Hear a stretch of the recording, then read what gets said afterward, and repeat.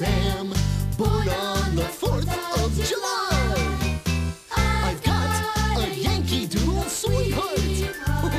She's my Yankee Doodle joy.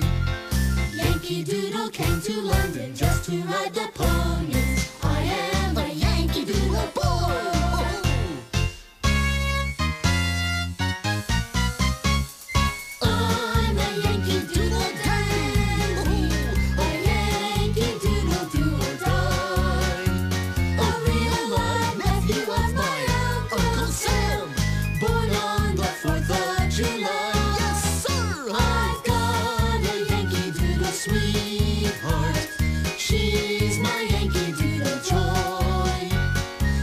Yankee Doodle came to London just to ride the plane.